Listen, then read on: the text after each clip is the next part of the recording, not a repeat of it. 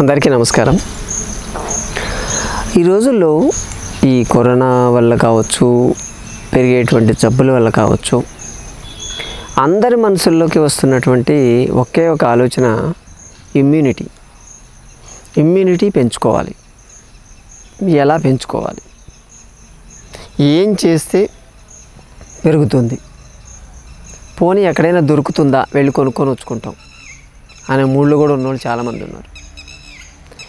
Immunity ఎలా పెంచుకోవాలి అని ఆలోచించడానికి ఉన్న ముందు అసలు మనకు ఇమ్యూనిటీ ఎందుకు రావట్లేదు? అది ఆలోచించాలి. ఇప్పుడు ఈ వైరస్ సీజన్ స్టార్ట్ అయిన తర్వాత రోజు ఇవే కాల్స్. ఇమ్యూనిటీ పెరగాలంటే ఏం చేయాలి?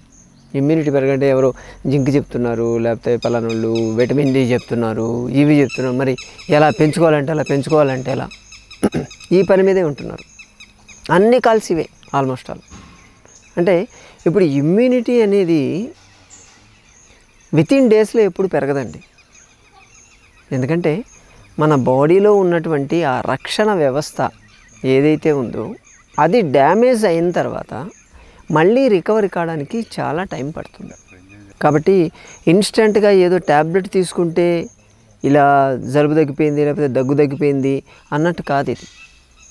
ఇమ్యూనిటీ పెరగడం ఒక గ్రాడ్యువల్ ప్రాసెస్ దానికి కావాల్సినటువంటి వైటమిన్ డి కావాలి జింక్ కావాలి కాపర్ కావాలి మెర్క్యూరీ కావాలి బి కాంప్లెక్స్ వైటమిన్స్ కావాలి. ఇవన్నీ కూడా ఎంత మొత్తంలో దానికి కావాలి అనేది బాడీ అనలైజ్ చేసుకొని దాని ప్రకారం మన ఇమ్యూనిటీ లెవెల్స్ని పెంచుతుంది గ్రాడ్యువల్గా ఇప్పుడు ఏదన్నా ఇన్ఫెక్షన్ లాంటిది ఏదైనా వచ్చిందనుకోండి కన్జర్వేటివ్ మెథడ్ అంటారు. ఇప్పుడు ఏదైతే అలోపతి మెడికేషన్ మనం వాడుతున్నామో. అది కన్జర్వేటివ్ థెరపీ జలుబు వచ్చిందంటే జలుబు ఇమీడియట్గా ఆగిపోవాలి అంతే ఆగిపోతుంది కానీ క్లియర్ కాదు. ఆ పవర్ ఉన్నంత వరకు పనిచేస్తుంది మళ్ళీ మళ్ళీ మొదటికి వస్తుంది. పెయిన్ వచ్చిందా? పెయిన్ కిల్లర్ వాడాలి. అంతే. ఆ పవర్ ఉన్నంత వరకు అది ప్రెస్ చేసి పెడుతుంది. కానీ మళ్ళీ ఆ పవర్ అయిపోగానే మళ్ళీ వస్తుంది. కానీ మన లైఫ్ స్టైల్ వల్ల కానీ లేకపోతే డైట్ ఈ మెథడ్స్ ద్వారా మనకి ఏదైనా సరే అటువంటి రిజల్ట్ రావాలి అంటే ఇట్ టేక్స్ టైం గ్రాడ్యువల్గా ఇప్పుడు నొప్పి తగ్గాలి అనుకోండి ఫస్ట్ మనం ఏదైనా మెథడ్స్ మొదలు పెడితే వెంటనే తగ్గదు. రెండు మూడు రోజులు నాలుగు ఒక వన్ వీక్ వన్ వీక్ తర్వాత కొంచెం ఉపశమనం వచ్చినట్టు ఉంటుంది. దాని తర్వాత ఇంకా అలా అంటే కొద్ది రోజుల పాటు అది చేస్తే కానీ దాని అల్టిమేట్ రిజల్ట్ అని మనం ఫీల్ కాం. సో మరి ఇమ్యూనిటీ ఎలా రావాలనేది అది వేరే టాపిక్ పోయింది. అసలు ఎలా పోయింది?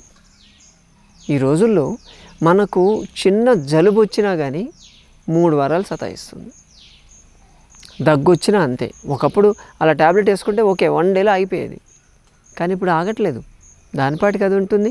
అందుకే చెప్తారు ఈ కోల్డ్ లాంటిది ఏదైనా వస్తే కోల్డ్ వచ్చినప్పుడు ట్యాబ్లెట్స్ లాంటి మెడికేషన్ లాంటివి వాడితే మూడు వారాలు ఉంటుంది. ఏమీ వాడకపోతే ఇరవై ఒక్క రోజులు ఉంటుంది. అంతే తేడా.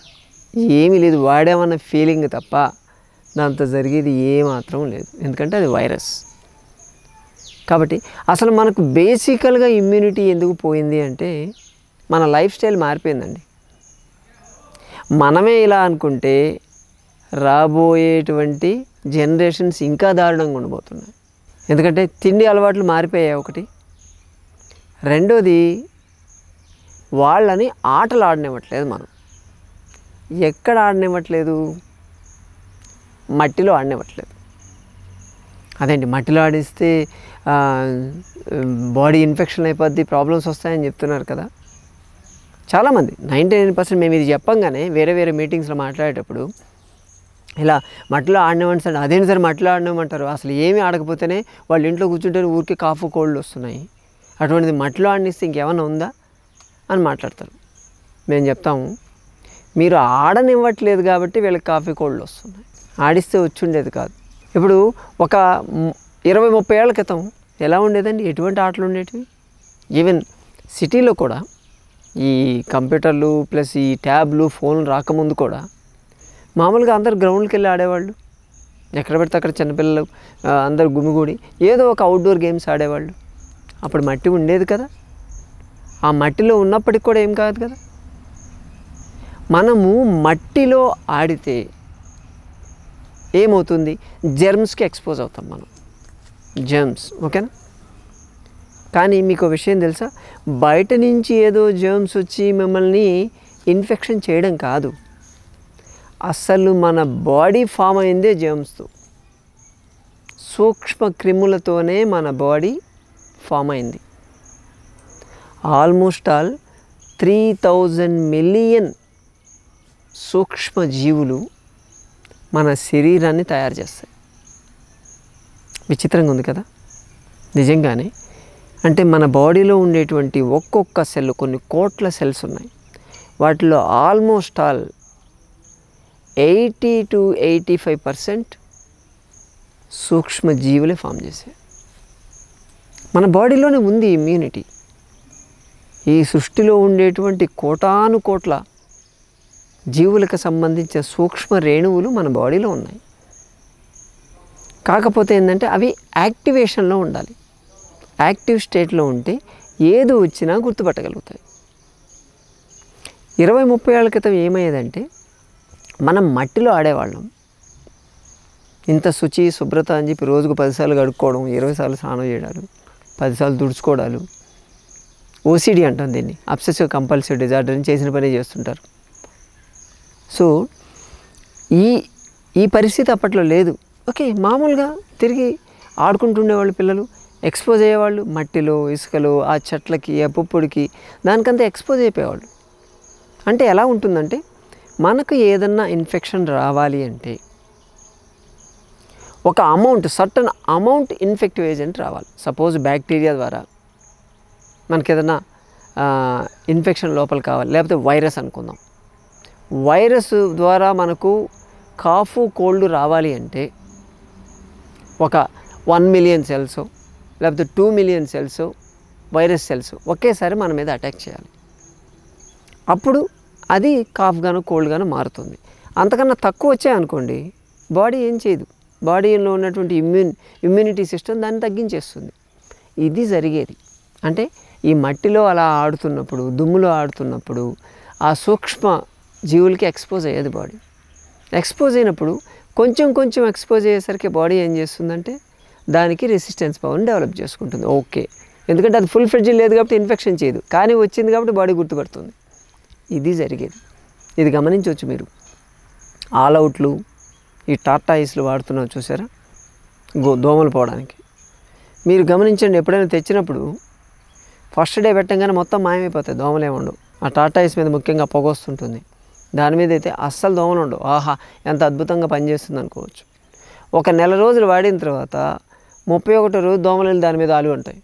అంటే ఆ కొంచెం కొంచెం వాటికి ఎక్స్పోజ్ అవుతూ దానికి రెసిస్టెన్స్ని డెవలప్ చేసుకున్నాయి దోమలు.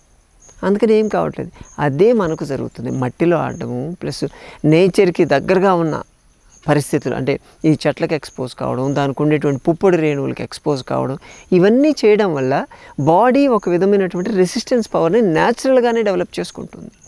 కొత్త కొత్త విషయాలకి ఎక్స్పోజ్ కావాలి బాడీ కొత్త కొత్త స్టిమ్యులేషన్స్ ఉండాలి బాడీకి అప్పుడు కొత్తగా దాంట్లో ఉండేటువంటి సెల్స్ అన్నీ యాక్టివేట్ అవుతాయి. పొద్దున్న లేస్తాము అదే ఇంట్లో ఉంటాము అదే ప్లేస్కి వెళ్తాము అదే గాలి పీలుస్తాము అదే తిండి ఉంటుంది. మార్పు ఏముండదు ఈ రోజుకి రేపటికి తేడా ఏంటి? రేపటికి ఎల్లుండికి తేడా ఏంటి? ఎటువంటి తేడా మన లైఫ్లో ఉండదు. దాంతో బాడీ ఒక విధమైనటువంటి స్టాగ్నెంట్ స్టేజ్కి వెళ్ళిపోతుంది.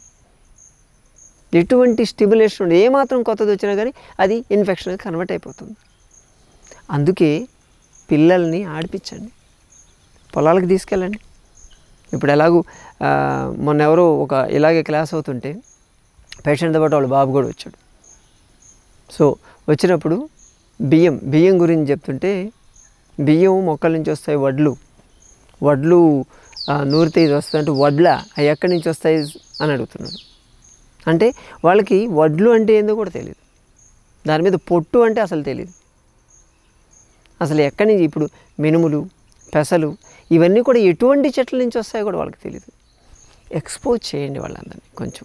వీకెండ్లో అక్కడికి ఎక్కడికి పోయేదానికన్నా ఇటువంటి హెల్దీ అట్మాస్ఫియర్ ఏదైనా మీకు దగ్గరలో ఉండేటువంటి పొలాల్లోకి వెళ్ళడము వాళ్ళకి ఎక్స్పోజ్ కొత్తగా ఎక్స్పోజ్ కావాలి వాళ్ళు.